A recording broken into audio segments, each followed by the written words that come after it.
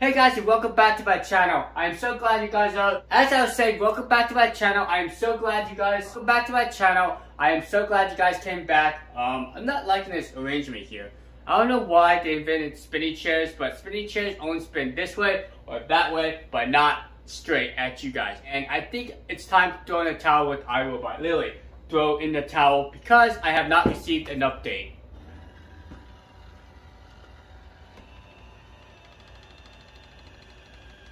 Speaking of throwing a towel, now the Roomba J7 can actually avoid towels, socks, shoes, and even poo. Unfortunately, the J7 does not like magical unicorns, so Sparkles was taken out, and sad day, he never survived. Okay, so in this video, we're going to talk about iRobot Genius 4.0, uh, the software update, which basically has some minor tweaks, but there's some major ones as well. So, in a nutshell, the Genius 4.0 software includes the i3, i4 with the room select. Also, across all the Roomba model lineup, they get a child lock feature. They also get a nap feature. Basically, it stands for Never Awake People or Pets. That is called NAPP.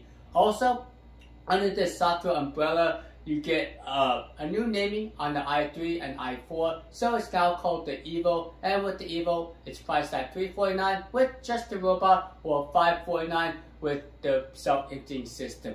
Now, that's basically the software in a nutshell, but let's go and just dive deeper into what this entails. Let's talk about the minor tweaks. So, NAP, like I said, Never Awake People or Pets app allows you to lock out the clean button. So if you have a young person or a pet that's curious, they'll actually bump their nose and activate the robot. Now, this is also handy when a robot's going under low-hanging furniture and something actually bumps into it. I have had a robot vacuum literally stop itself a few times since the uh, clean button was activated. Okay, so the next minor tweak is the fact that you can have a do not disturb mode or what, what iRobot calls it nap. Basically, it just signs the robot self to self-emptying or the robot won't go out and awake you.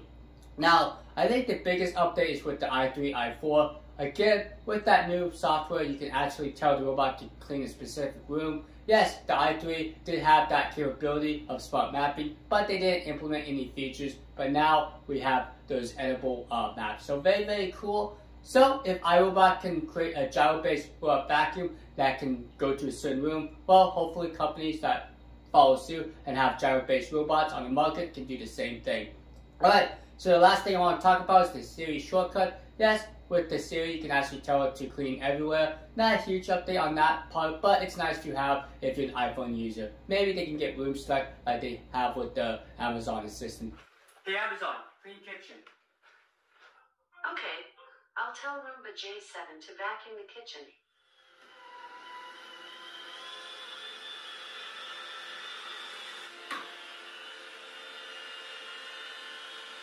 Alright, so that's just the quick look at the Genius 4.0 software update. Hope you liked this video, and if you have any questions about the Roombas, or the Braava Jet M6, or the mopping robots, let me know down in the comments. I'll be more than happy to answer them. Alright, adios.